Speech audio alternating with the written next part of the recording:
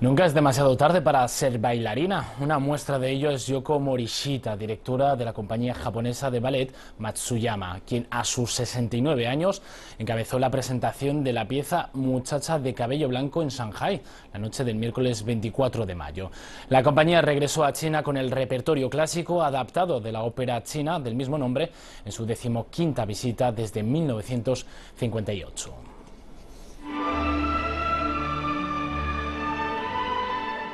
La muchacha de cabello blanco narra la historia de una chica china de campo llamada Xia, quien lucha por escapar de su patrón.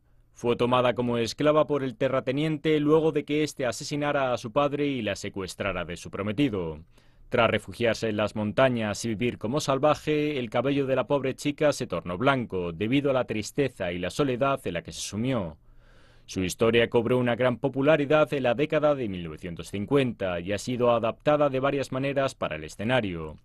Estos recuerdos regresaron a la vida nuevamente al tiempo que Morishita interpretaba el papel de la chica Xiar, quien luchó por la libertad y la felicidad.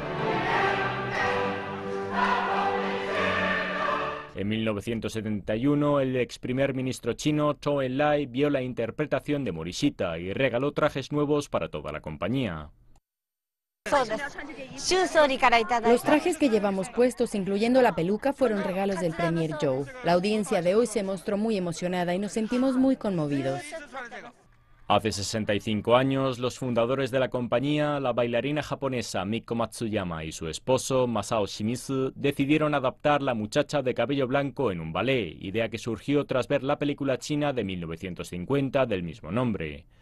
Matsuyama interpretó a Xier cuando el show se presentó por primera vez en Japón en 1955. También interpretó el papel cuando la compañía se presentó en China en 1958, lo que allanó el camino para las relaciones diplomáticas entre ambos países 14 años después. CGTN en español.